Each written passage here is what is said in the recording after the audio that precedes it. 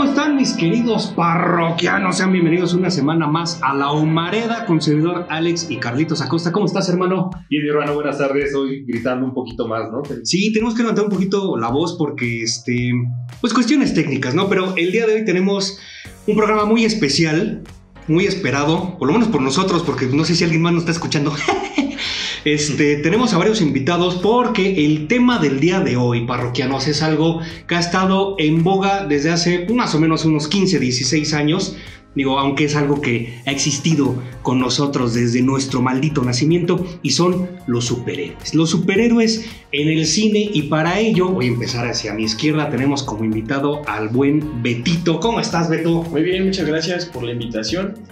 Gracias a ti por, por estar aquí con nosotros, mi queridísimo Juan de Dios, alias Diosito, nombre clave Diosito. ¿Cómo estás, hermano? Bien, bien, bien. ¿Cómo, cómo, cómo están? Gracias por la invitación. Pues vamos a darle átomos a este, Es este tema. A darle átomos. Y también tenemos aquí a Mike, mi queridísimo Miguel, nombre clave, el Contita. ¿Cómo estás, Contita? ¿Qué tal? ¿Cómo están? Muy buenas tardes. Eh, también eh, con un gusto, un placer poder estar eh, participando de este tema.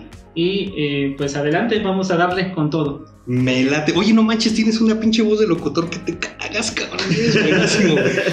No, pero además Coquita es como el nombre de, de, clave eh, para entrar al antro, ¿no? O sea, no. Sí, sí, sí. O sea, eh, Mike llega, llega al antro y, Y el cadenero lo deja pasar. Llega el cadenero, ya saben que es un juggernaut así, cabrón.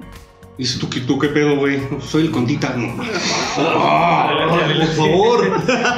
Bienvenido. Y hablando precisamente de superhéroes, el día de hoy vamos a determinar, vamos a intentar debatir cuáles son las mejores, las peores películas de superhéroes para nuestro humilde punto de vista. Y eso pues también nos conlleva a saber cuál es nuestro universo cinematográfico favorito, ¿no? Eh, decíamos y estábamos en el previo a esta charla que, por ejemplo, Diosito y su servidor somos muy DCitas, o sea, nosotros hemos seguido, yo en lo particular he seguido los cómics de DC desde que era un chilpayate, güey. Y este, y mi superhéroe favorito es Superman. Así, la neta, yo sé que Tra- traes, tu, traes tu playera. traigo mi playita de Superman que está bien bonita. Me la compré en la Fayuca, güey. Pero me salió bien barata y está bien bonita, bien. Me la compré extra grande porque si no se, se me ve el cuajo. Este, tú, Dios, eres eh, pro Batman, ¿no? Sí, sí, sí. Digo, yo desde que tengo memoria, pues, pues Batman ha sido el, el, arquetipo y el prototipo de mi superhéroe favorito.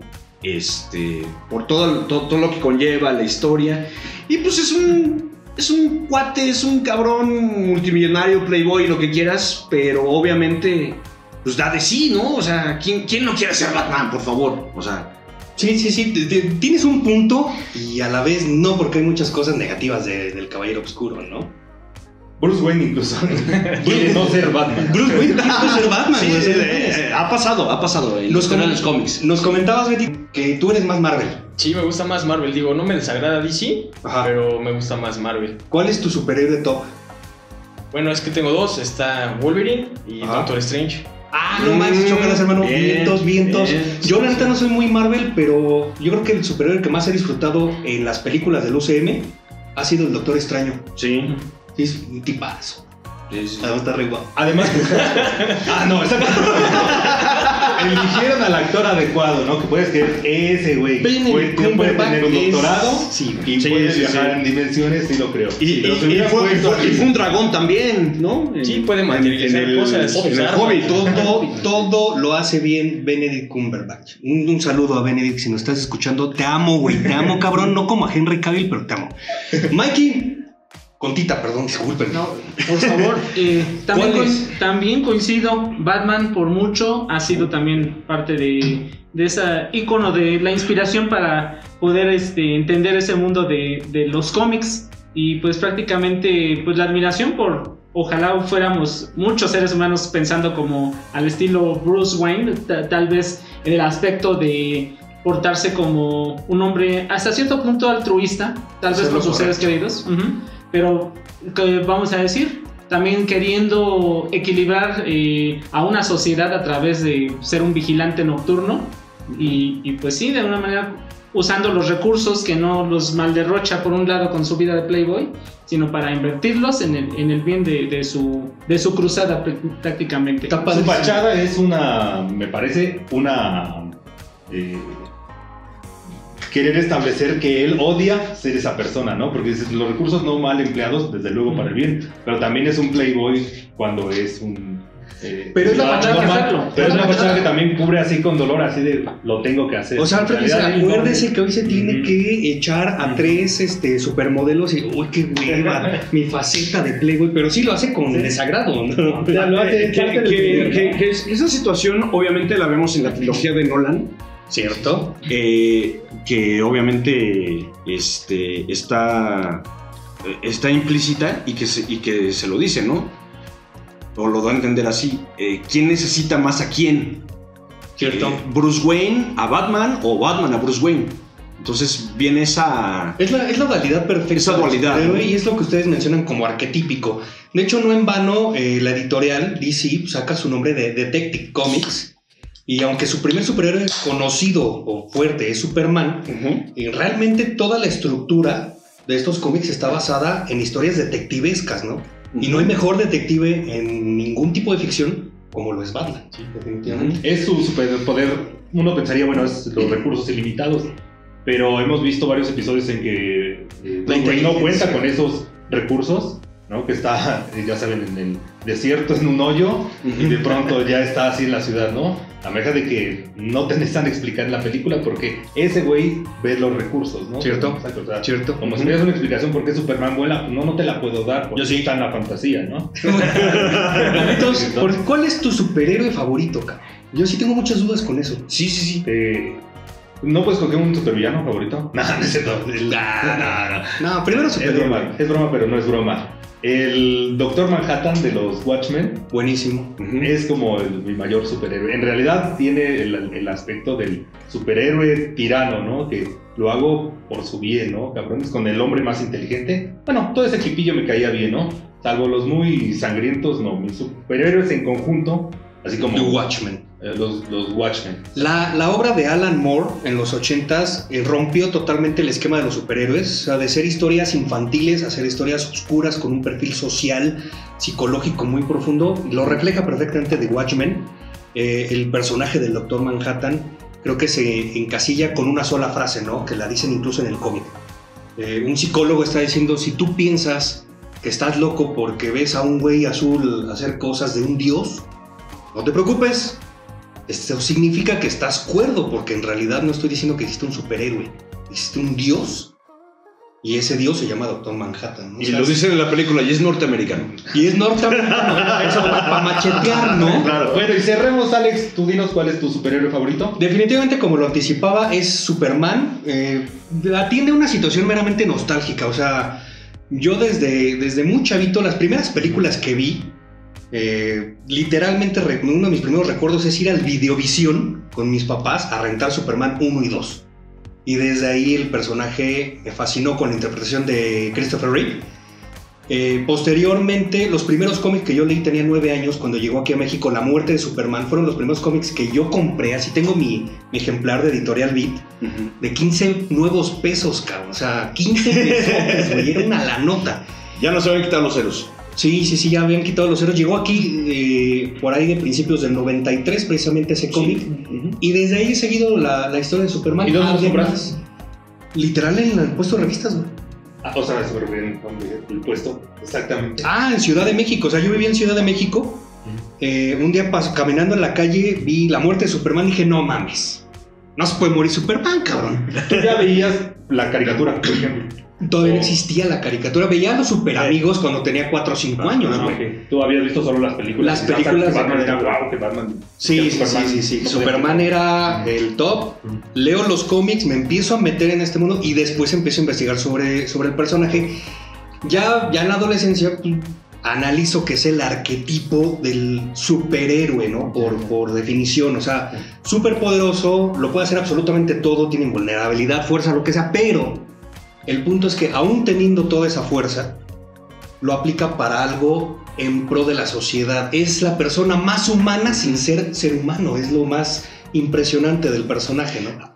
Ahora que dices eso, Alex, eh, eh, hay, un- hay un tema, creo yo, que creo que nada más lo vemos en las series animadas, como ya lo había dicho Carlitos. Este. eh, en, el final de la saga de la Liga de la Justicia Ilimitada, Ajá. la serie animada, cuando ya se enfrentan a Darkseid, que es pues el, el villano más villano de, De los este, cómics, de los cómics Neta. de, de- de DC. Perdón, Porque- es más que Thanos, güey. es, que, es, que, es que es curioso porque obviamente Hay comparaciones. eh, hay comparaciones y Thanos se basa en, en Darkseid. Así es. Porque salió posterior. Sí. Sí, Sí. sí, eh, es un güey este, morado, grande, poderoso y... Pero, pero luego eso no puede ser la falla en sí del personaje. No, no, que no. generalmente todos No, están basados en uno otro. Sí, eh, No, no, pero- los primeros. Pero eh, realmente es que siempre ha habido esa dualidad entre DC y Marvel, ustedes lo saben. Hay muchos sí, sí, superhéroes sí. y villanos basados de uno y otro. Ajá, nada más le cambian, obviamente. equivalente, ¿no? Ajá.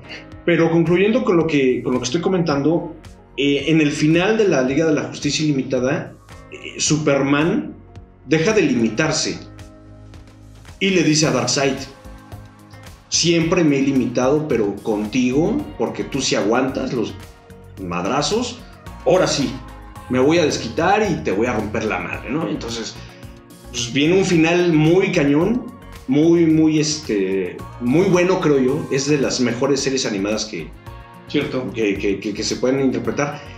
Y, y- y la verdad es que ese es el, ese es el, el punto de que Superman siempre se ha, Se ha contenido. se ha contenido, se ha limitado y su, su moralidad de Boy Scout y todo esto, pues lo, lo llega a tener eh, en un cierto margen. De hecho, lo interesante del personaje también es que su mayor miedo no es perder a sus seres queridos ni la kriptonita. Su mayor miedo es perder el control y dañar a las personas por no saber controlar sus poderes. Entonces eso a mí se me hace fantástico en el personaje, una construcción perfecta del personaje que podría llegar a los estándares, por ejemplo, de Manhattan o de otros seres superpoderosos, pero que siempre lo han manejado como, como parte de su esencia el no llegar a esos extremos, ¿no? De hecho, estoy a punto de llorar con estas historias. Yo no he visto a Superman así que, fuera- tuviera un poquito como de eh, humildad en el decir, no, pues es que si quiero, me los puedo chingar involuntariamente, ¿no? Pensar en que. eh, pues como entregar En- el celular así a tu amigo y que- dices, tengo, Ajá. puedo hablarle a mi novia a las 2 de la mañana. te lo encargo, no te lo doy porque soy tan pendejo que me puedo Que, descontrolar. que- ¿no? que también está esa desconstrucción del Superman. Y justo a eso iba. Actualmente Ajá. hay como tres o cuatro versiones del superhéroe, pero de cómo sería si no se controlara. Hay una película de un chavillo muy poderoso que se llama Superman Bright, malo. Brightburn. Ajá. el hijo de la luz. Ajá. Es el Superman malo, ¿no? Que es, el chavito es Clark Kent llegando a, la- a Kansas, Ajá. pero es un hijo de la chingada.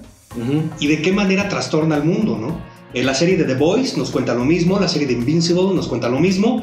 Eh, todos ellos están basados en un personaje cuya principal esencia es, por principio, por, por humanidad, aún siendo extraterrestre, no abusar de esos poderes y regalárselos a la humanidad. Ya. Cabrón. O, o también, ¿qué pasaría si eh, este Kal-El aterrizara en la Rusia, no? La Rusia es, un- es- es una novela gráfica maravillosa, recomendadísima. También hay una película este, en animación que sale hace como dos años. Véanla. No se equipara al cómic, pero está muy buena. Y hablamos mucho de Superman. Yo creo que tendremos que concentrarnos en el cine de superhéroes en la actualidad, ¿no? ¿Hasta dónde ha llegado este boom cinematográfico y por qué Marvel se ha comido pues el 99% del pastel, ¿no? Porque es una realidad. Fíjate, Beto, que ahí vamos contigo, ¿no? Eh, la neta es que hay personajes de Marvel, precisamente en los que basaron el universo, Es correcto, sí. Que no eran famosos por sí mismos. No, no, no, hasta que salieron las películas ya lo fueron conociendo. Por ejemplo, está la de Deadpool, era un personaje del cómic nada más. Peliculón. Pero No me bueno, gusta. la primera es muy buena, la segunda ya me reservo mis comentarios. Ok. Pero sí está, es muy entretenido, ¿no? Está divertida. Y ahora vamos, por ejemplo, con lo que da realmente el inicio al UCM, Iron Man. Para mí era un cabrón. 2008. Es tipo de Batman, ¿no? Es Sí, Nada más en su forma de Playboy, porque realmente él era como más eh, investigador, quería proponer algún beneficio para él. Se me hace O sea, realmente, Sí. realmente no era para la sociedad, o sea, ya después lo vio así, pero al, al inicio era nada más para él. Estaba jugando, estaba Se practicando. me hace que es más que eso. el Batman tiene un trauma que es precisamente del que nace Batman, de ver morir a sus padres eh, asesinados, ¿no? Ya saben, en esta noche oscura saliendo de la ópera, y Iron Man no tiene ese, ¿no? Entonces, es justamente lo que hace presente la psique del personaje, Claro. y a mí también se me hace, en ese sentido, más eh, entendible a Iron Man que a Claro. Batman. Sin embargo, eh, Batman es famoso desde la década de los 40 Ujú. y hasta los 90 tú decías Iron Man, decías, ah, pues es un güey que se pone una pinche hojalata y parte madres. y Marvel lo deconstruyó y lo volvió a construir con un actor que era Tony Stark en la vida real. La neta es que parece que fue hecho. sí, para él. La neta, ¿no? Sí, sí. No, y, y- y, y, Y es el ahora de los más famosos, güey. Y, ¿Cómo? y- y obviamente, digo. Es buen actor, este, además, ¿eh? Downey Jr. Es que es, claro. es un buen actor, Robert pero Downey obviamente creo yo que ya le están dando papeles después de, de, Iron de Man. lo que hizo con Iron Man. Es. Después de eso es Iron Man, Tony Stark, abogado. Doctor Dolittle fue una madre, ¿eh? O sea, este eh, eh, Ya no, ya, ya no estamos encasillando como en, todos. en, en darle papeles Ah. que sea Tony Stark. Pero eso es otro tema. Se me fue el nombre del actor. Robert Eh, Downey Robert Jr. Downey Jr. Eh, ¿Estuvo en prisión? Sí, por cierto. Sí, sí, sí, sí, sí, sí. Eh, fue, Era el chico malo de Hollywood. Fue su. eh, inclusive eh, hay un episodio de Los Simpson donde van a, a Hollywood y este. Hay una escena de un tiroteo Ajá. y dicen, ah, está filmando Robert Downey. Sí, no vio las cámaras. Guiño, guiño. No vio las cámaras. sí. O sea, sí, sí, tuvo problemas. Tuvo problemas, pero estuvo en la cárcel. Y, y fue, y, ajá, y fue su resurgimiento, este, Iron Man, ¿no? Sí, sí, ¿Qué sí. hizo bien Marvel? Te pregunto, Mike. Con tinta, perdón, discúlpame, cabrón. ¿Qué hizo bien Marvel para que personajes tan desconocidos para el populum se hicieran tan exitosos al grado de que ahorita realmente le deja lana el universo cinematográfico de Marvel a Disney y de ese es pura madre lo que sacan, ¿no? ¿Qué crees que haya sido? Bueno, de- definitivamente yo creo que también es esta curiosidad que nació de, llevar a la pantalla grande a, eh, a grandes personajes eh, a través del boom de los en donde empiezan las primeras series ya más con un poco más enfoque más adolescente, ya no era tan infantil. Entonces ya eh, empezando por el lado de los X-Men fue donde comenzaron a- a animarse Sí, a, a llevar a cabo este tipo como de proyectos que iniciaron precisamente con X-Men, precisamente en, en los años 2000, que es donde comienza una trilogía que después ya se volvió otra segunda trilogía, y, sin, sin embargo fue de la parte exitosa en donde nada estaba involucrado 20th Century Fox. Y obviamente Cierto. todavía Disney no tocaba ni, ni, ni un poco de lo que ahorita se está llevando y absorbiendo. Y Marvel incluso decía, yo no le voy a sacar provecho, mejor vendo los derechos. Por eso tiene tantas broncas con Spider-Man, con los X-Men, con los Cuatro Fantásticos. ¿no? Por eso no los ha metido todavía, apenas está en ese proceso. Es cierto, el boom de los X-Men pudo haber sido el parteaguas, ¿no? Para iniciar este, este nuevo camino. También es que Marvel tiene su éxito en que cuenta una, eh, una aventura que se puede comparar con la mitología griega. Son tantos dioses, tantos mundos, tanta fantasía, todo conectado, que es insuperable con solo un héroe individual y con la Liga de la Justicia que queda muy corta con que ah, Marvel te presentó... ¿Cuántas películas son de Marvel? 23 hasta ahorita. y entrelazadas. Y sí, desde luego los errores naturales, incluso podemos decir de, eh, de Continuidad. De continuidad. continuidad, ¿no? Y que dices, bueno, son parches que sí, pero en realidad cuentan una teogonía, ¿no? Ese es el éxito y primero eso hace precisamente que Marvel tenga mayor impulso en la cinematografía. No obstante, los que son los primeros siempre tienen éxito. El primer Batman, por eso decimos, es que Michael Keaton, como es el primer Batman llevado al cine, ese es el único. James Bond, por ejemplo, ¿no? De Beth a Sean Connery, es el primero, tiene éxito. Iron Man es el primero y es Robert Downey Jr. está. es el que vamos a amar. Va a seguir, van a cambiarlo porque esta es la crisis que va a tener Marvel en un futuro. Es. Y cuando cambiemos estos pinches Absolutamente de ¿quién acuerdo. nos va a suplir? La Capitana Marvel, así. Ya va de salida también. El Doctor Strange, ¿cómo se llama ese actor? Benedict Benedict ese. Cumberbatch. Ese, Un bebé. ese mero. Cuando lo quiten, bueno, va a ser otro güey rubio que no lo va a llegar como Superman tuvo ese mismo conflicto. Entonces creo que ahí radica el éxito de eh, Marvel en el cine. Puede, puede ser que el problema sea este, ¿no? El universo cinematográfico Marvel llega en la era dorada de las películas de superhéroes, Exactamente. pero con personajes que no tienen un antecedente. Por eso son exitosos. No había con quién comparar a, a Robert Downey Jr., porque nadie había hecho de Iron Man. Nadie había hecho un buen Steve Rogers, nadie había hecho un buen Thor. Y en cambio, si quieres ahorita poner a un nuevo Superman, un nuevo Batman, pues luego, luego hay comparaciones, ¿no? Podríamos decirlo de esa manera. ¿Qué pasó con la de Wolverine, no?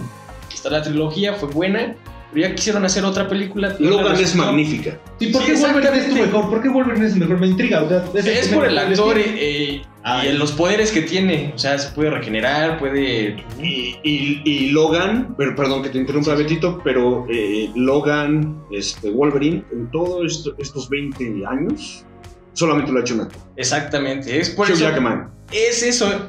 Si te cambian al actor, como ha pasado en DC, que las trilogías las van cambiando porque también el- las- los personajes envejecen, somos humanos, eh, pues ya no te deja lo mismo, ¿no? Ya no la verías igual. Podremos entonces suponer que el gran éxito que tiene ahorita Marvel, en algún momento inevitablemente se va a convertir también en su fracaso, porque al intentar refritear o refrescar a los personajes, nunca van a volver a tener el mismo éxito que tuvieron en esta década. Y yo, yo quiero hacer una profecía, si me permite. Ah, échale. Vas. En un momento no se van a estar cambiando los personajes, ya tienes todas las características digitales de un Hugh Jackman joven, maduro, eh, viejo, que no vas a necesitar otro actor, solamente Walt Disney cuando tenga la tecnología, que creo que ya la tiene, Muy bien, para ¿Que, poder que- así- que va a descongelar a Walt Disney? para- ¿O- o ¿qué, qué dices? Descongela Walt Disney, Walt Disney luego pone digital a. Robert Downey Jr., Meryl Streep cuando era joven, Kim Basinger este, morena, ¿no? Michelle Pfeiffer desnuda, o sea, cosas que nunca hemos visto en el cine y con sus actores. Puede ser la película Simón, ¿no? Es un Spider-Verse. profe- Esa es la pro- Igual es solo con características específicas diferentes. Es Sí, que- te daría. Sí. Se va a lograr. Ahora vamos a ver esta fórmula también que está siguiendo Marvel mismo. Para no, eh, pues vamos a, a- a- a decir a que vaya a caer esta parte ahorita que tienen ganada en la industria cinematográfica, pues están ahora, este, según rumores, creando la, la parte de hacer multiversos, precisamente con Spider-Man. Hay el rumor Claro. de que puedan juntar al elenco de los otros tres, otros dos Spider-Man, que ya estuvieron. Tobey Maguire, Andrew Garfield, este, Andrew Garfield y este, juntarlos en, en el universo del muchacho ahorita que está en, se me fue su nombre, pero pues prácticamente es una forma de volver a refritear, refrescar eh, la imagen del personaje. Tom ¿Cómo Holland. Te quedas Tom Holland. absorber a las generaciones que vienen persiguiendo estas trilogías y, y otra vez seguimos para adelante. Reforzar el Porque vas a tener el interés de continuar. Ese, ese es el siguiente paso que intenta DC. Lo intentó en las series, en las series que tiene en Canal Warner, Flash, Supergirl, haciendo la crisis en Tierras Infinitas. Eh, Metió también muchos- la de. Metió eh, multiversos. La, la- la serie que habla de Batman, ¿cómo se llama? Gotham. Gotham. Gotham. En estas series, eh, por ejemplo, pudimos ver buena. en Crisis en Tierras Infinitas a varias versiones de Superman. De hecho, a- al Superman del 2006, al Superman de Smallville, Brandon Root. a Brandon Root, etc, etc. A todos ellos lo vimos y es lo que parece que están pretendiendo hacer, ¿no? Justamente eso que menciona el Contita y que parece también es lo que quiere hacer DC para ver si ahora sí le pega a su universo cinematográfico. Ajá. Mete una película de Flash donde cambia toda la historia y vuelve a empezar de ser otra vez todo el desmadre con un nuevo Superman negro. Digo, lo digo con, con su expresión como es, ¿no? Este, con un, con un este Batman, con un Batman Por si se malinterpretó eso. Quise decir un negro. Aclarado eso con todo el respeto. Porque además suena este, este, este morro que, que ha salido incluso en películas de, inspiradas en Tom Clancy. Se me olvidó el nombre, el nombre del actor porque es realmente muy buen actor.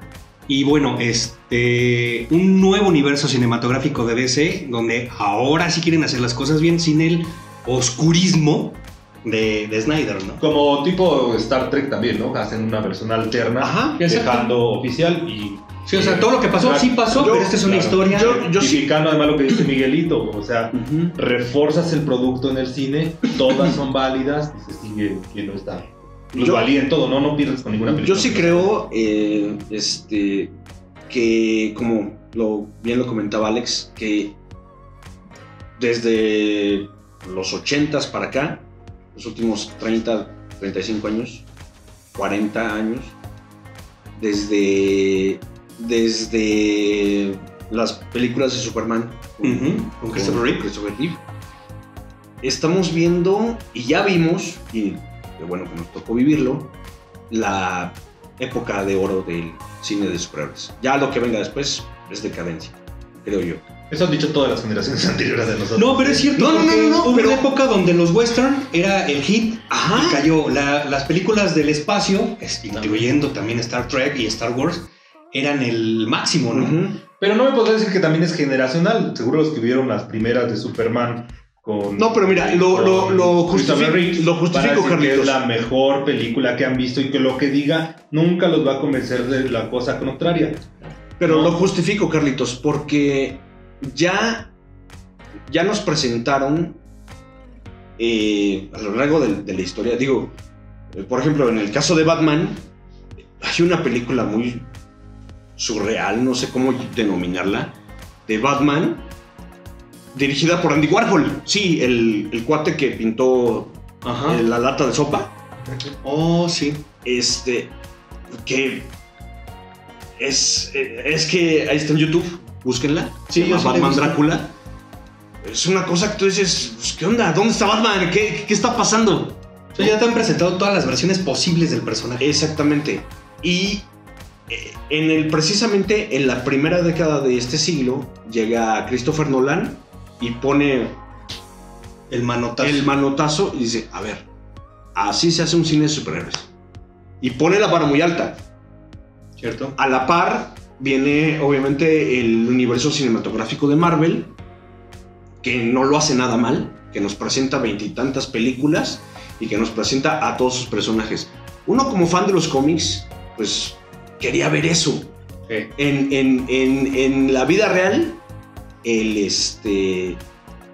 Al hombre hormiga, a Iron Man, a Thor. Y todos Thor, todos. cabrón. Sí, sí. y luego me los presentan en un combo.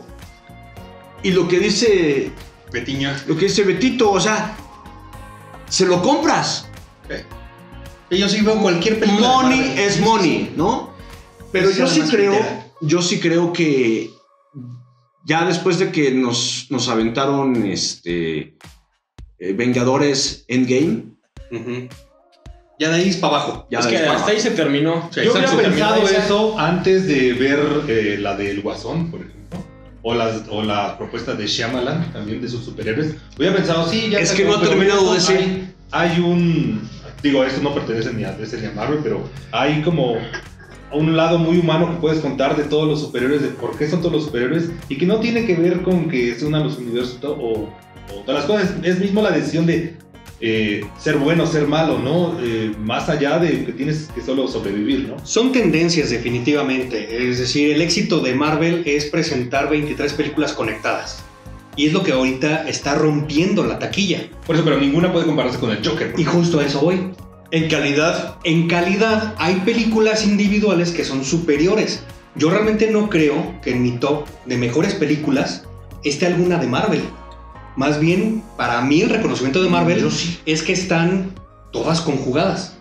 La neta. Ninguna, Pero- ninguna pero- porque Bendito lleva con el cuchillo. Y justo, y, justo, y justo vamos para allá, ¿no?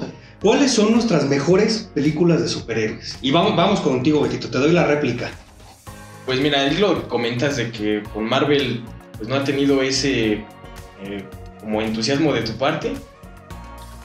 Pues sí se comprende, ¿no? Fueron personajes que no se conocían, como decía acá Diosito, que es el hombre hormiga. Pues decías, no, pues quién es, ¿no? Ya ves la película y está buena. La secuela también, fíjate, con la avispa. Entonces, es eso, más Pero que te, nada. pero te lo sacan, por ejemplo, al, al hombre hormiga del, del UCM y neta lo hubieras visto. No, es que todo fue para. fue estrategia. Exacto, O sea, a eso iba. la querían eh, unificar y tener una remuneración, ¿no? Todos lo Totalmente. hacen por eso, realmente, porque le tienes que pagar al actor, le tienes que pagar a los de las cámaras, producción, etcétera, etcétera. Totalmente de acuerdo. Y luego se hace la publicidad, el marketing. De ahí que empieza a arrancar, ¿no? Porque hasta cierto punto Marvel no había vendido los derechos a Disney, hasta que Disney vio que era muy lucrativo y se empezó a meter. Claro. De otra forma, ¿no? Por ejemplo, ahorita está lo de WandaVision en Disney Plus, ¿no? Buena, buena, Buena, serie. buena para serie. verla, para verla una vez, ¿eh? Sí, sí, sí. Yo me no, la no, no. reventé una vez a gustísimo. verla otra vez ya no me genera el hype porque ya sé qué va a pasar. Sí, sí, sí, de hecho ese lo van a mezclar ahorita con la de Doctor Strange para hacer los nuevos multiversos. La nueva como saga, porque ya se terminó la de Avengers.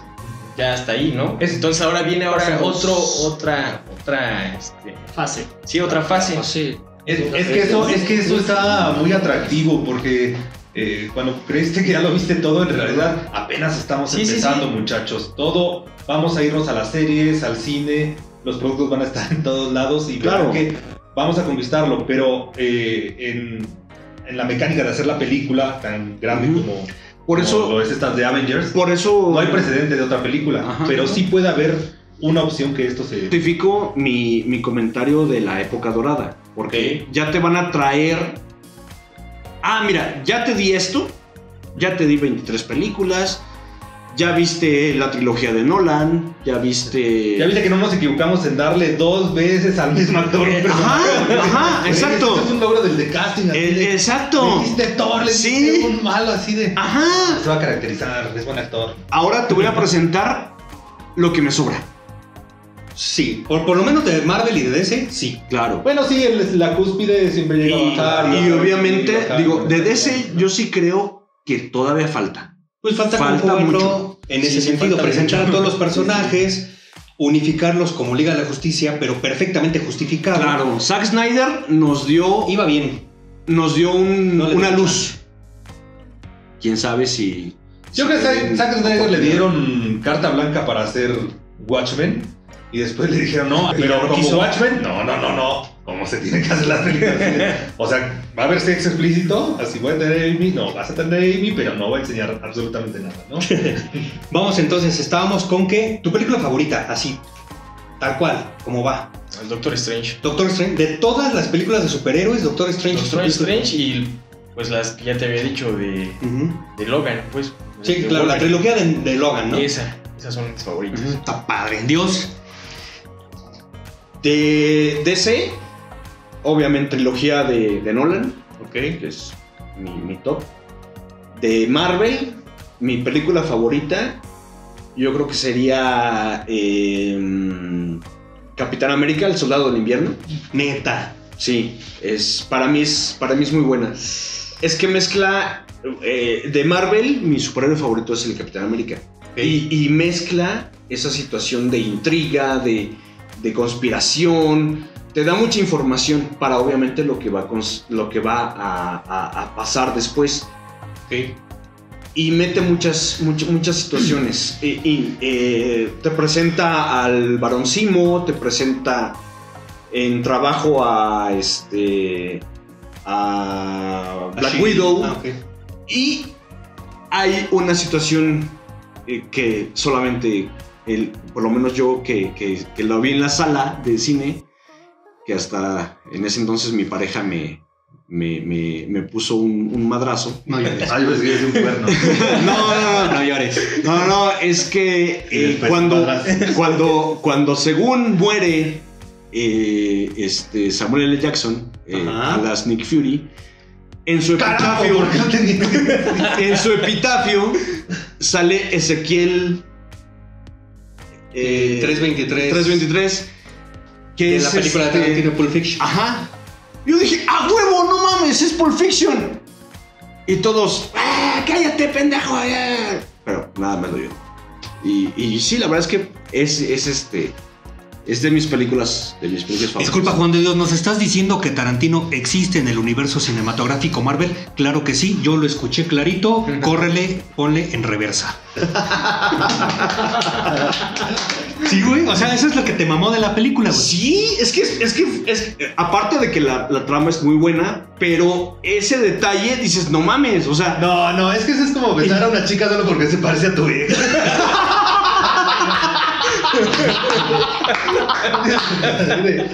no, no, no, pero soy bien fan de Tarantino.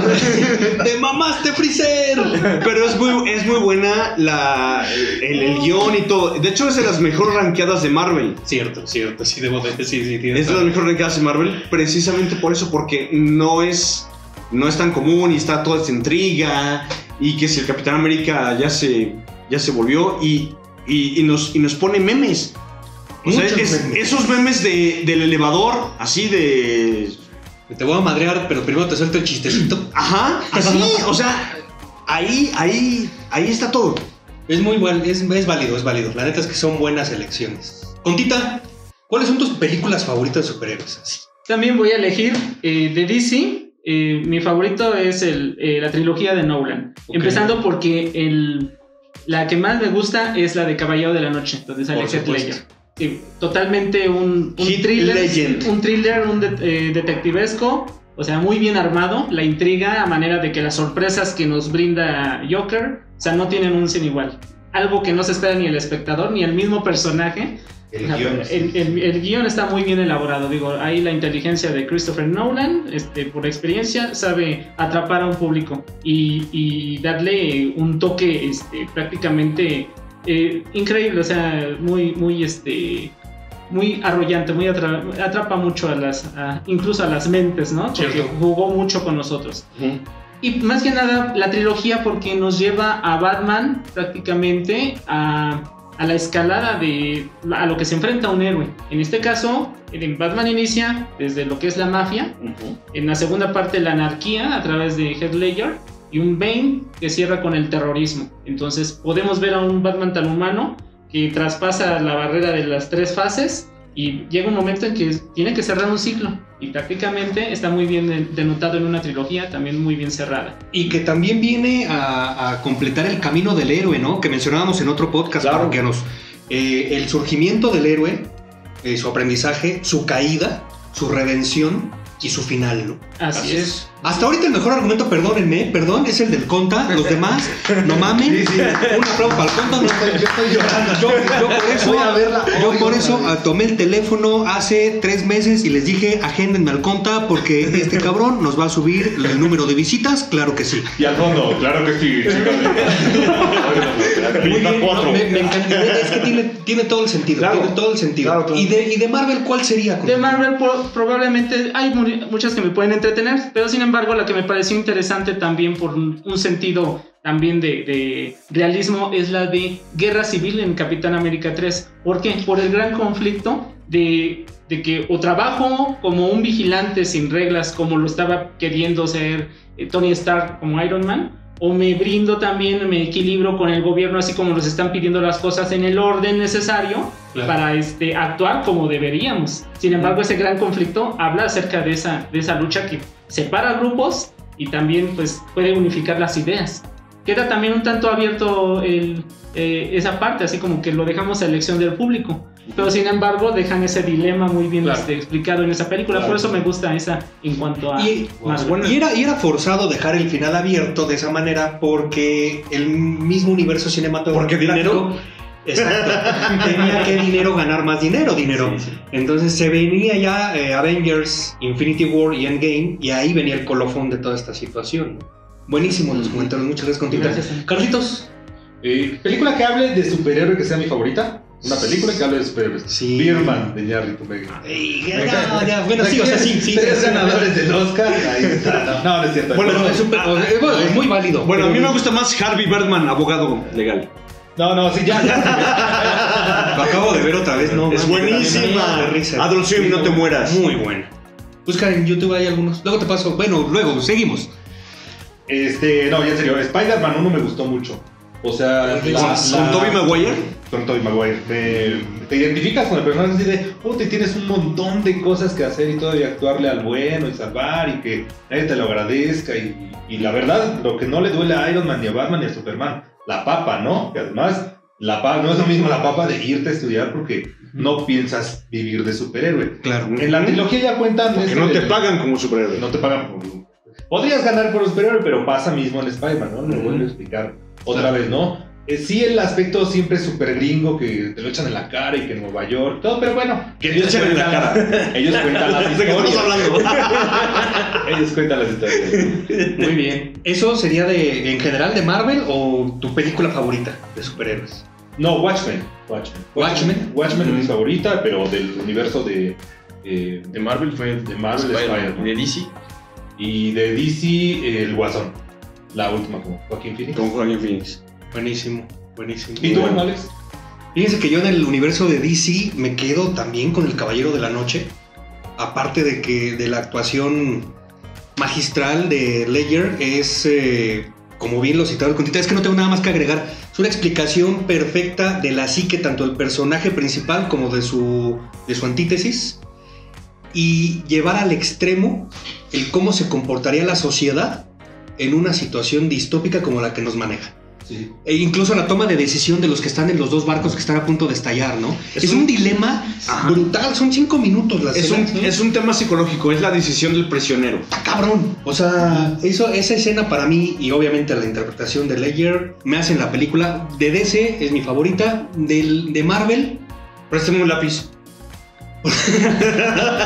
no, o sea, este, Spider-Man 2. La Sí. neta, la 2.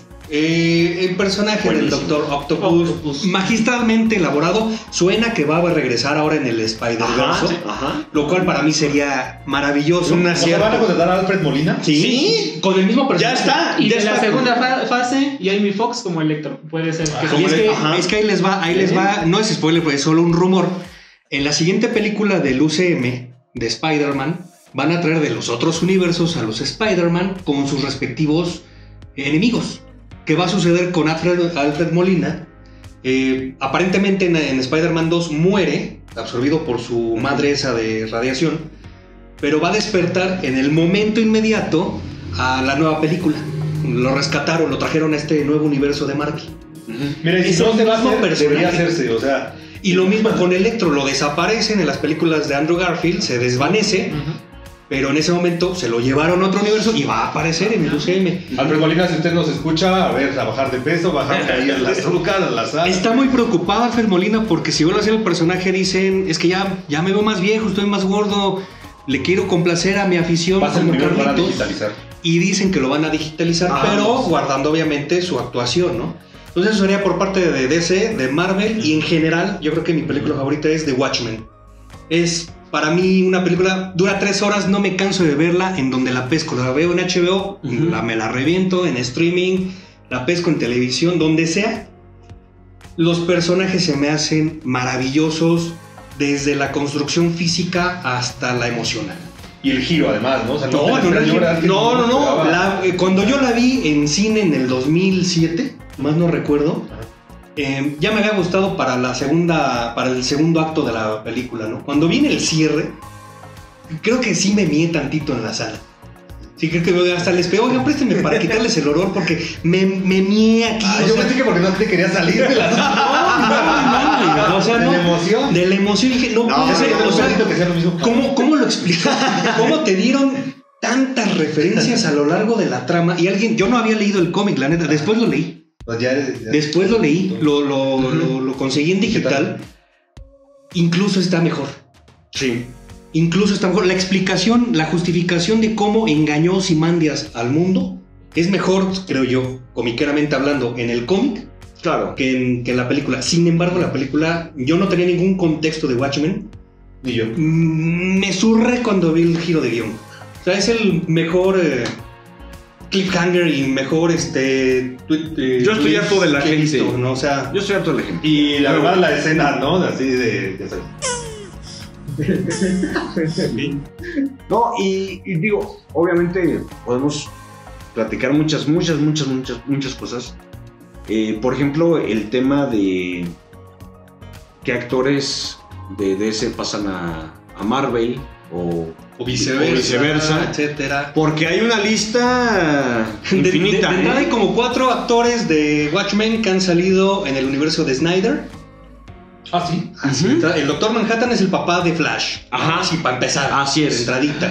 Este. El, el, el, el comedian es el papá de Bruce Wayne en este También. la Liga de la En. Batman contra Superman, Ajá. por supuesto. Ya. Y es Sí. Negan en The Walking Dead. Eh, Qué eh, datazo. batazo, exactamente. Eh, Muy bien, ¿no? Etcétera, ¿no? ¿Sabes O sea, qué? Eso es justo lo que no me gustó y lo quiero decir. Y si no lo voy a decir aquí, no lo voy a decir nunca, ¿no? El pinche eh, eh, Alfred no me gustó en, en Guasonos, el de Joker, no, no me gustó. Este. ¿qui- ¿Quién, quién es el Alfred? Es, Sale en un par de escenas cuidando. no, no, a- pero ¿quién es, quién es el Alfred? Bueno, si ya habías puesto a Michael Caine, ¿no? Michael Caine es para mí también. Lo que sucede es que, bueno, la idea de, de darle el enfoque a este Alfred es verlo con los ojos de Guasón. De que por qué a lo mejor Tiene nosotros el siempre, siempre hemos visto la Contita parte benévola, benévola de, de- del personaje tan querido por, por Bruno Díaz también como su mentor, como su protector, como todo. Claro. Obviamente tenemos que verlo desde, desde el enfoque del Guasón, Claro. de, de que la gente rica también tiene su lado también un tanto oscuro. Pero Y refiero al tratar- actor, o sea, al No actor importa, mismo. y puedes O sea, tratar ¿Se gastaron mal. para Robert De Oigan, eh, tratar mal en, en serio a, a la a- gente hablan- común. hablando del Guasón, no, no lo he comentado con muchos. Hay dos Pues, cosas, hay dos cosas que, este, que yo vi al final de la película. No sé si coincidamos. A lo mejor estoy hablando de pues, cuestiones ya más fumadas, lo que ustedes quieran. Eso es plática de borrachos. Ella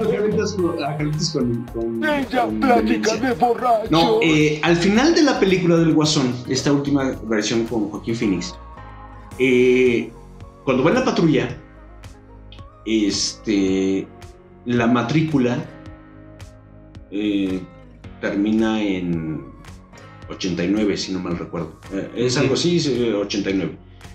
Creo yo, no, no, no, es, es cosa mía. Creo yo que es como una alegoría o, una, o un guiño a la película de Batman. Michael Keaton, de Michael Keaton con Tim Burton del 89. Ujú. Porque precisamente ocurre eso y está todo el desván en gótica y este, viene el asesinato de los padres de, de Bruce Wayne. Pues Yo- no era, ser. Como así. si fuera Yo- el antecedente a las películas de Keaton. Yo lo vi así, yo lo vi así. Otra más, otra más. Cuando Bruce Wayne, cuando va a ver eh, el, el guasón, este Arthur Fleck, a, a la mansión Wayne, eh, está Bruce Wayne en los juegos y todo esto, y baja por un, un tubo. por un tubo. Eso yo creo que es un guiño, obviamente, a, las pe- a la película. Los 60s. a- a- ajá, A la exactamente, a, a la serie de, de Batman de, de Adam West. ¿Me estás diciendo que Keaton y West existen en el universo del Joker? Yo escuché que sí, claro que sí. Ponle retro, ya quedó grabado. No está tengo, no tengo pruebas, pero no Bueno, tengo dudas. Llámele al Y notario. otra tercera evidencia, digo, para hacer un amarre también, que sería estar poniéndole mucha atención a toda la película. En la sala de Arthur Fleck, durante la trama, dicen que hay un cuadro que también fue utilizado en Jack Nicholson. Ah, no la sabía. Puntita. Buenísimo, buenísimo. Vas a tener que volver a ver Joker y buscar esa, ese Lo voy, lo voy a hacer al rato. Yo creo que yo también, ¿eh? Lo voy a hacer. no, está cabrón, güey. ¿Cuál sería la película que menos les ha gustado? Y hay muchas para Ah, odiar, ¿no? Pero vamos a concentrarnos en una en particular que dices, esta me cagó. Ahora vamos a empezar al revés, vamos a, empe- vamos a empezar con el Contita, porque es lo que no está cabrón. Contita, ¿cuál es la peor película de superhéroes que has visto? Eh, aún queriendo a Batman, este, la, tri- la Batman y Robin, Ah. Joel Schumacher, Ya esa es una. Y la segunda, Gatúbela con Halle Berry. Son las dos Gracias. me voy a adelantar a los demás porque es que, es que me gana todos los comentarios el Contita, güey. O sea, él eligió junto con Dios eh, la trilogía de Nolan, yo también la elegí. Mi peor película también es Batman y Robin y los putos batipezones. y, la, y la Mastercard de Batman es Nunca salgas sin ella. vomitiva en aspecto. Y esos chistecitos estúpidos como ahora sé por qué Superman no tiene un compañero. No mames. Horrible, asquerosa, vomitiva, definitivamente. Yo Pero qué tal. Bane haciéndole como pues como mascota nada más de Sí, sí, era. era- Poison Ivy. Sí, está aquí, se ¿cómo les fue a esas? a repetir palabras como ¿En taquilla les fue bien? Perdón, no te interrumpí, continúa. No, perdón, perdón. ¿Qué En taquilla? Taquilla. Ah, No, no tan bien. ¿Qué estás- No, le fue mal. Ajá. Sí, ganó. Poison Ivy. eh, No, Batman, Batman y Robin, ¿cómo le fue en taquilla? ¿Cómo le fue? Ah, Según en yo, momento, le fue más o menos así. Le fue bien. Le fue, le fue un poco mejor porque pretendieron recuperar al, al público infantil que había perdido aparentemente este, pues la- las dos primeras películas de Tim Burton.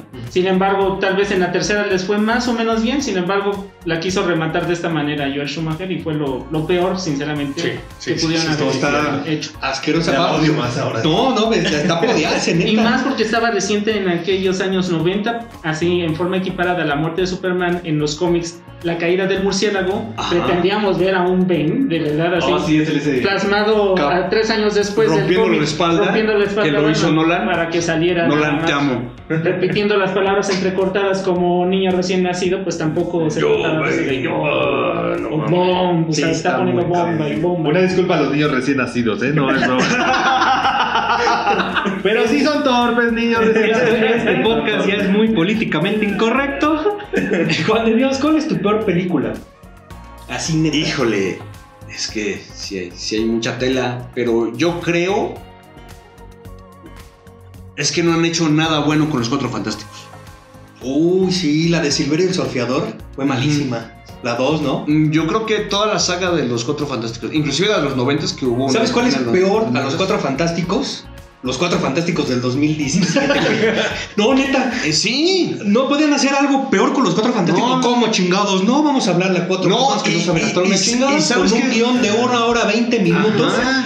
Que no tiene desarrollo. Y, y ¿sabes qué es lo peor? van a ver superhéroes en tu película. ¿Saben qué es lo peor? Que tiene, tiene mucho, mucha, este, mucha, mu- mucho material, los Cuatro Fantásticos. O sea, tienes un grupo de superhéroes y de ahí sacaron al Capitán América, by the way, acuérdense, ok. y con Chris Evans. Chris Evans. Sí, sí. Pero, este, tiene, tiene, o sea, tienes al Doctor Doom, un hijo de la chingada, mejores, cabrón. mejores villanos de los cómics, el Doctor Doom. Este, Stan Lee le creó un país, Ujú. Latveria, o sea, güey, Explótalo. tienes todo, cabrón, vas solo. Yo tengo mucha fe en que el UCM va a reivindicar a los Cuatro Fantásticos. Tiene que hacerlo. Venga, Van a ser unos muy buenos Cuatro Fantásticos. Tiene que hacerlo, porque, porque, porque lo tiene.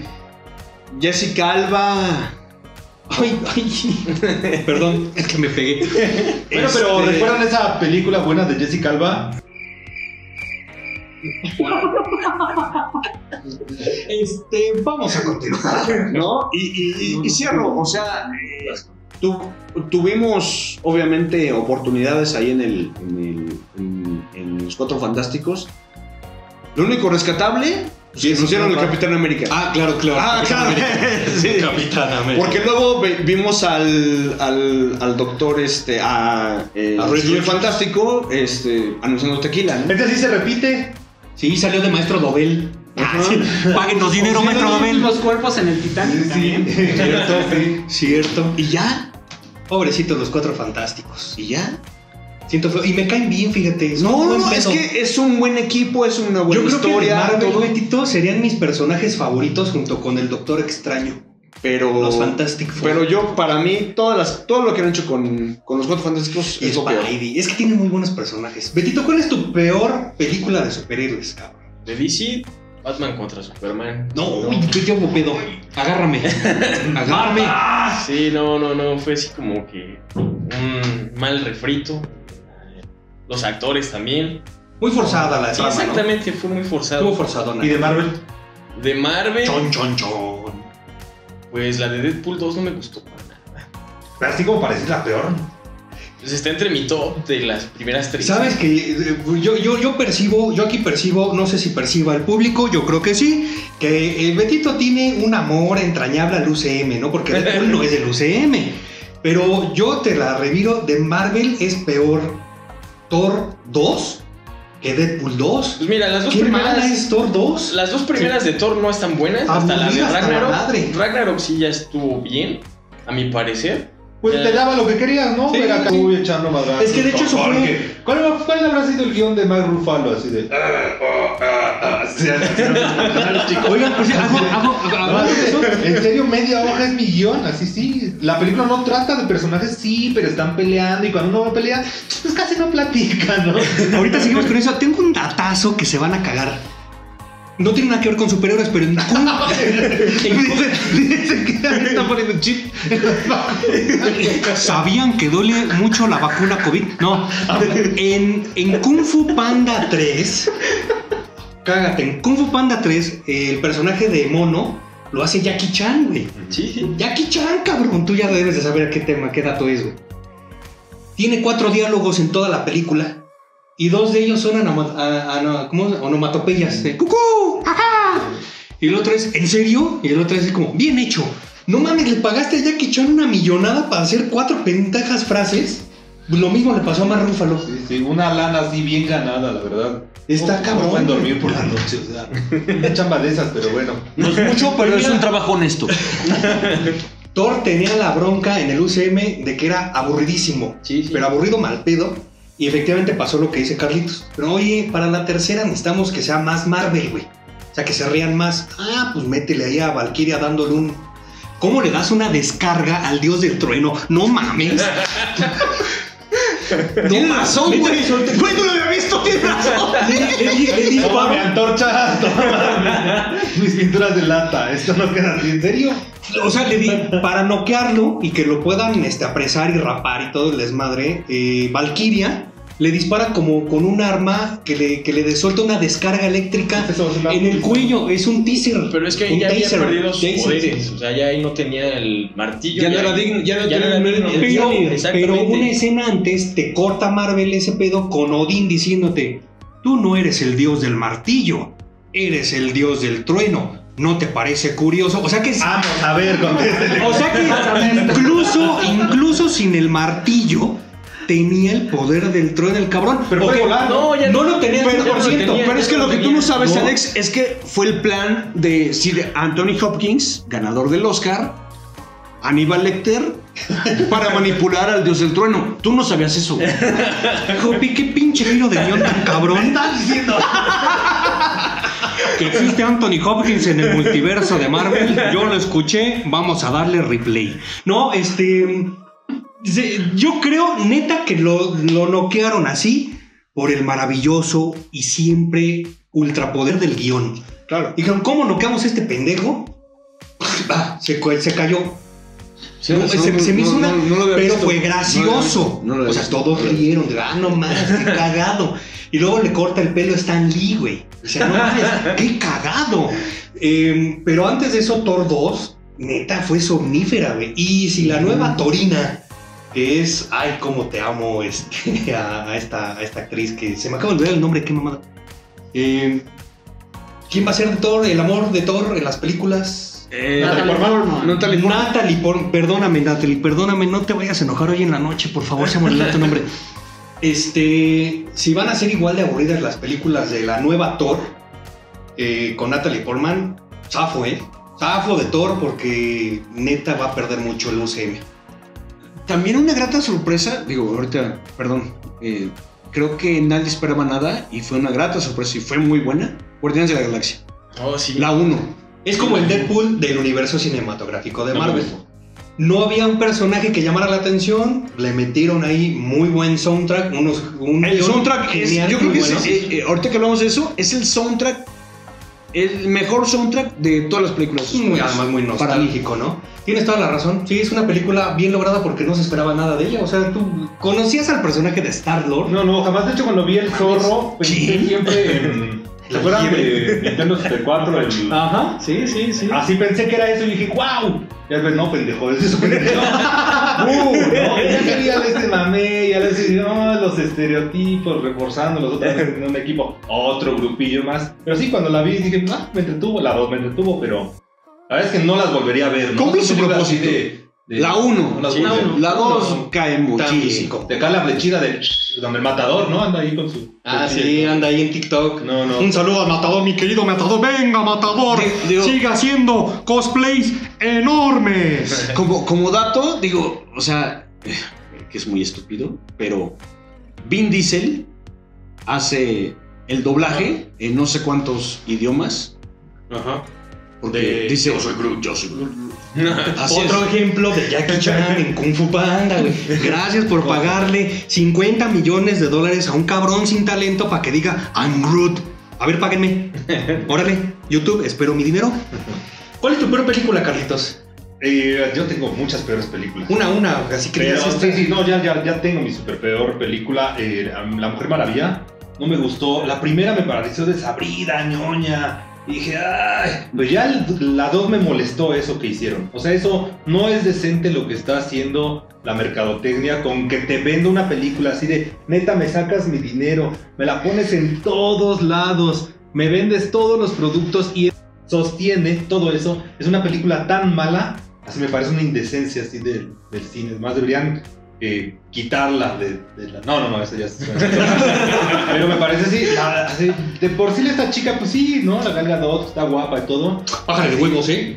Bájale de huevos con Gal Gadot, cabrón. Nunca la ves actuar y aquí ya que la ves acá sin el maquillaje, acá en sus dos, tres escenas así de, chale, una película solo porque la chica es linda, ¿no? Es La que dos. le den, porque, Sí, sí, sí. sí, porque además es un súper cuento el de, el de Wonder Woman y es uno de los tiempos en que estamos viviendo de la lucha de la mujer por... eh, El empoderamiento de todo esto.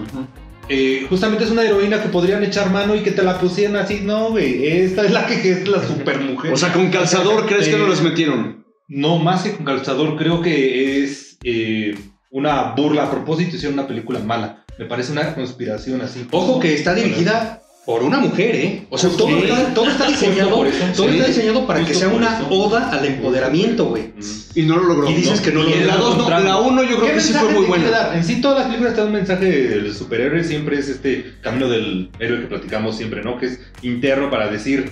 eh, incluso los mismos pinches Transformers, ¿no? O sea, quieren algo bueno para algo. Déjame quiere la Wonder en Woman. paz, La Wonder. Woman- La Wonder Woman es egoísta, ¿no? Siempre egoísta, aferrada. Tiene unos problemas, unos desequilibrios con. Pues sí, la.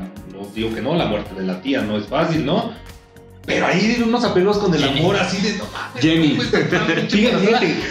O, Dije o- embarazada, dije enamorada. O la, No. señora, o la señora Underwood, ¿no? Mejor O sea, conocida. este güey ya anda en Es Star Trek manejando una nave y. Entonces, no va a regresar, güey, no va a regresar. Volvería a decir eso de. Me estás diciendo. Pero ya sabemos, ¿no?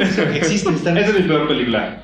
Buenísimo. Eh, tienes toda la razón. En la, en la segunda película, eh, elige con la piedra pedir el deseo de que su enamorado esté vivo y le roba la vida a otro cabrón. O sea, se mete al cuerpo de otro güey, ¿no? Ajá. Y ella no se preocupa, oye, ¿y qué pasó con el espíritu del güey que vivía aquí o con su vida? Además, Andas conmigo. ¿qué tal que tenía vida y se va a encabronar? No, no, la misma piedra, bien. Qué terror le tenemos a las novias, ¿verdad? No, ya sabiendo que, o sea, dices, uy, ¿quién va a tener la piedra? Ah, lo bueno que lo tiene la Wonder Woman. No, así de, me voy con mi hombre y me olvido de la piedra. Así de unos, recordando unos estereotipos de Sí, la mujer parece- que debería repudiarse esta película. Parecía que en lugar de pedirle un deseo, se había fumado la piedra Wonder Woman. Pero este, la neta, no hay peor argumento de villano en la historia del cine que el de Maxwell Lord, ¿eh? Neta. Yo cuando vi la película que dijo, mi deseo es ser la piedra, dije, bueno, tú estás pendejo, hijo, ¿qué? O sea, ¿qué esperaba, neta? Sí, sí esperaba convertirse en la... ¿Qué tal que se convirtió en la piedra y caía ahí? Pero igual ese puede ser su deseo. O sea, quizás sí le salió mal el No, día, pero, la manera, la manera, la manera en la que la reflejaron en el cine, güey. Yo Porque él dice, trabajar. yo quiero ser la piedra. Ajá. Hubiera sido muy cagado que se, que se hace la piedra y cae ahí, ¿no? Pero no. Y ahí se hubiera acabado la Y película. ahí se acaba la película. Y los créditos. ya. Pero no, güey. O sea, este güey, como que para algunas cosas adquiere las habilidades de la piedra, aun cuando su deseo no fue quiero tener las habilidades de la piedra. Y también se queda con todo lo negativo sin considerar esto, güey. Pero está a la altura de la heroína, ¿eh? O sea, el superhéroe está así.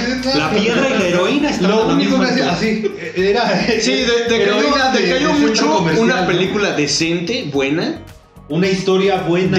de. Wonder Woman, la primera, que nos presentan al personaje, que nos ponen a Bebé Te Amo Gal Gadot. Pero... Por eso vende la película. Es que sí, Oh, y vende en, en Rápidos y Furiosos también. No, no, no. Me estás diciendo que... Rápidos y Furiosos vende por Vin Diesel y papacito de roca, güey. Bájale de huevos con la roca, güey. Sí, pero... que, bla- que- que va a ser va a ser un madrazo. Esa sí la quiero ver para que vean. Pero no, pero, pero no... Ot- otra sorpresa también fue Shazam. Shazam. Estuvo buena. Es buena. Está buena. Fue una bien, sorpresa claro, también. claro. Nadie la pidió. Y fue un. Pero no es otro, vez, no es otro Deadpool. O sea, no. No, no, no, no, no, no, no. Pero Vela. como irreverente. Es recomendable, está bien. eh, Te vas a divertir. Shazam. Te vas a entretener. Para cerrar este video. ¿Tú que eres fan de Rocky? Podemos concretar que efectivamente Marvel tiene su éxito en el compendio de películas. Y lamentablemente. Pero no te preguntamos a ti cuál era tu peor película. Ah, sí, Sí, ¿cuál es- ¿cuál es tu lo- Ah, desde el principio yo dije, yo coincido con el Conta, Ah, ok. Batman y Robin, Batipezones y Mastercard es vomitiva, es una asquerosidad. Y por ahí, Thor 2. Ah, sí, sí, sí, de, de- del universo cinematográfico de estos cabrones. Thor 2 y de DC, puta, lamentablemente tengo tela donde cortar, pero me quedo con Wonder Woman 2. ¿Verdad? Sí, malísima. Ah, ya, me- malísima. Yo pensé que era el único. me estaba Mala con M de Maxwell Lord, güey. ¿Verdad? De, y M de Mujer Maravilla y, y mujer luchona y buchona que realmente no refleja lo que es el empoderamiento femenino. Claro. Eso sí es una Te- realidad. Te, ¿eh? te, te recomendé la- esta película de que me recomendó, que el Conta, precisamente. ¿Cuál? Presente. La del doctor Merton y la Mujer Maravilla. Del hombre que creó. Ah, sí, no le vi. Buenísima, es buenísima. Marston. Ajá, que tenía ahí una Sus relación. mujeres maravillosas. Bondage, Mujeres, todo esto. sí, Por, sí. de ahí surge el, el tema bondage. Pero además por eso surge, poliamor. y por eso surge Ah, el, el lazo de la justicia. El lazo De la este- verdad, ¿no? Ajá, de la verdad. Ay, la hace la justicia pervertido. pervertido. El universo cinematográfico de Marvel tiene su, su encanto en que ha logrado consolidar muchas películas, algunas no tan buenas, pero que se compensan con el compendio. En que tiene películas individuales aceptables, hasta ahí, pero que no ha, su- no, no ha No ha sabido ligar todo ligarlas, eso. ¿no? Aquaman es buena, eh, Mujer Maravilla aceptable, Shazam es buena. La versión, el corte de Snyder para, de la Liga de la Justicia para algunos Valieron la pena los, los cuatro horas, las cuatro horas y 60 pesos. ¿Valió Gracias. Y ya para terminar este video, mis queridos parroquianos, porque ahora sí nos aventamos una hora, es que está muy padre la plática, la neta, vamos a repetir esto definitivamente. Tu momento cinematográfico en películas de superhéroes favorito. ¿Qué momento dijiste, yo aquí lloré en la sala y no me importó? Empezamos ahora con Carlitos, para cerrar con los invitados. El- Algo que recuerdes que digas, hijo, este, este momento... Bueno, tendría que ser siempre uno muy dramático para eso, pero hay unos. Hay cortes, eh, escenas de película muy buenas, como el de Wolverine. Cuando eh, la tercera, cuando empieza con el hermano, eh, que te cuenta como en, no sé, Sí, cinco que minutos exactamente las edades de guerra que han estado. Es, ah, es una joya, por eso valió toda la película. Buenísimo. Pero así un momento como dramático, quizá el beso de Mary Jane con. con Emblemático con Tobey Maguire. Oh, Sí, no se va a repetir, ¿no? El que lo intente, siempre lo va a referir a ellos. No porque hubieran inventado, lo pusieron en televisión. Buenísimo, buenísimo, me gustó mucho. Ujú. Me gustó. Contita, te escuchamos. justamente el cierre de Nolan para cerrar el ciclo de Batman. El momento que me llevó precisamente cuando Batman se lleva con la con el con la nave eh, la bomba a- hacia el mar, obviamente muy equiparada con el Adam West llevándose una bomba de forma muy infantil hacia un muelle. ¿Cierto? Puede ser, puede ser lo que, lo que tenemos ese tipo de referencias. Haciendo ciclo, cierre de ciclos en el momento en que eh, hereda esta carrera al que eh, de alguna manera se convirtió en Robin, pero aquí se llama Robin, eh, aquí es de nombre, no es de seudónimo. Claro. Y también me pareció excelente esa parte. Dejarle la esperanza a Alfred, a, a Fox y de hecho al mismo este, Alfred. De decirle, estoy bien, estamos bien, es lo que queríamos ambos y aquí se cierra todo. Es Buenísima lo, también. lo final feliz siendo muy infeliz. Ajá, ¿Cierto? sí, sí, sí. Qué, qué buena, qué buena escena. Sí, sí, sí, la verdad es que sí. Diosito Santo, tú que me escuchas. Híjole, es que yo tengo varios, pero yo me quedaría, y la verdad es que me encantó esa, esa escena, ese cierre, por la batalla, por todo, cuando el Capitán América, y toda esa escena de, de la batalla, cuando el Capitán América toma el Mjolnir, y al final Claro. a tu izquierda, y Sales toma el, toma, el, toma el martillo, y dice, Vengadores, assemble. Es que es una frase que estábamos esperando por 11 Eh, años. exactamente, o sea, 11 fue, fue lo que fue lo que yo, yo, yo esperaba, obviamente. Puede equipararse al fuego de Perseo, ¿no? O sea, el- Es que lo eh, eh, divino toca a lo humano. claro. y llegan las valquirias y todo, o sea, ahí yo creo que, que de los últimos años es la, la escena que, que yo esperaba y dije, ah,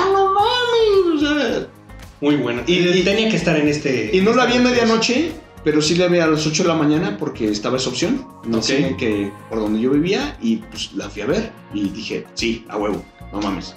Yo escuché gente gritar de emoción, llorar, güey. Sí. Llorar literalmente cuando grita, cuando gritó el Capitán América Assemble. Sí, es que No, no, fue mames. una mamada. No, no, no, y la batalla y todo, o sea, que hay muchas cosas que hablar sobre esa Sí, película sí. en particular, pero eso ya, eso, ya sería para otra ocasión. Betito, A mí de Doctor Strange, cuando pierde el instrumento principal, sus manos, ok. y se trata pues, de invertirle, ¿no? Para tratar de recuperar su movilidad. Ujú. Una escena que te queda así de que pues, estaba hasta acá y de repente pues ya no es nada sin sus manos. Ese momento en el que, de hecho, está muy buena la, la escena porque abre los ojos y lo primero que ve son sus manos Sí, y, y- llenas de clavos. Exacto, y le reclama a su pareja, ¿no? ¿Qué me hicieron? hiciste? Sí. sí, sí. sí. Buenísima, buenísima. Yo disfruté mucho Doctor Strange, la neta. Sí, Sí, es lo yo que veo. también. No. Cañón, cañón, Oh, sí, cañón, sí, cañón. sí, sí, sí. Eh, Tanto el actor Muy como el bueno. personaje y, el- y todo el, com- el compendio. Creo que además es la mejor escenificación de efectos especiales del de por sí magistral universo cinematográfico de Marvel. O sea, los efectos son brutales. Es una mezcla de Inception con todas las películas de Marvel. sí, juntas, sí, sí. Además, la escena que dice Diosito, ¿no? No, ha- no existe sin el Doctor Strange, ¿no? Claro, o sea, claro, era- abriendo es los como poner el gol. Es que de hecho él es el estratega. No, y, y- y- y lo que dice, ¿no? ¿Están todos? Y le dice Wong, ¿querías alguien más? Yo, yo, yo me quedo con, con- particularmente con tres escenas. La primera es de Watchmen. Al principio de la película está explicando eh, Rorschach el cómo ve a la sociedad. Y de hecho es una frase que yo, yo uso mucho en mi vida personal. Cuando dice, voltea a ver a toda la sociedad en medio de su inmundicia. Y me dijeron, ayúdame. Y yo volteé desde arriba y les dije, No. no. No mames, no, hasta me da así, se me encuera el chino, cabrón. Esa en primera. Por epicidad, definitivamente, eh, la escena de Vengadores Unidos. No me gusta al 100% Endgame, la neta. Ya cuando la analicé, cuando la vi por tercera o cuarta vez, porque la neta la vi muchas, empiezas a pescar una cantidad de Deus Ex Máquina brutal, agujeros de guion, un sinsabor increíble, pero esa escena ¿Te das cuenta que sin un mafioso chino en Hanover no hubiera trascendido nada? Sin una pinche rata que active el portal de Adman, güey. O sea, no mames. Vengadores Unidos, a la chingada, no mames, denle el Oscar a la rata, cabrón.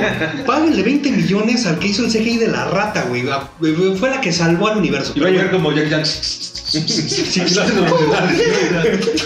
Y, y para finalizar, eh, una, una frase que me conmueve mucho en Doctor Strange, cuando está muriendo Ancestral, se desdobla el doctor para hablar con ella. Está, hay una escena en cámara hiperlenta, está el helicóptero y cayendo un rayo. Y Ancestral le dice, muy particularmente, he vivido cinco eternidades y mírame aquí intentando estirar este último instante de mi vida. Buenísimo. No mames. Buenísimo. Ahí fue, para mí, recopiló también el Buenísimo. significado de toda esa película. Puede ser el ser más supremo y poderoso, y sin embargo siempre te vas a intentar aferrar esa delgada línea. Esas escenas para mí son icónicas en la, en la cinematografía por diferentes motivos. ¿no? Qué buena plática hemos tenido el día de hoy, parroquianos. Espero que se hayan quedado hasta el final porque sacamos muchísimos, muchísimos temas y referencias. Déjenos en los comentarios si ha sido Y de su faltó. agrado. Faltó muchísimo, así es que seguramente vamos a tener segunda, tercera y cuarta parte de esto, comentando desde agujeros de guion, desde los mejores guiones, mejores escenas, mejores actores, de todo. Muchas gracias a nuestros invitados, muchas gracias Betito. Muchas gracias por la invitación. Gracias Juan de Dios. Gracias a ustedes. Mi condita, hoy gusto. te la volaste, cabrón. Te la volaste. Muchas gracias. Muchas gracias a ti, de veras. Muchas gracias. Y muchas Un gracias a ti, carnal, carnal. Gracias a ti, mi hermano, y a nuestros invitados y a todos los que nos escuchan. Muchas gracias.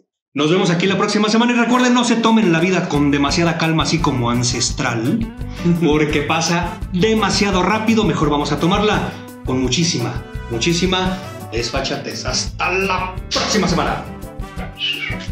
Ya está. Bravo.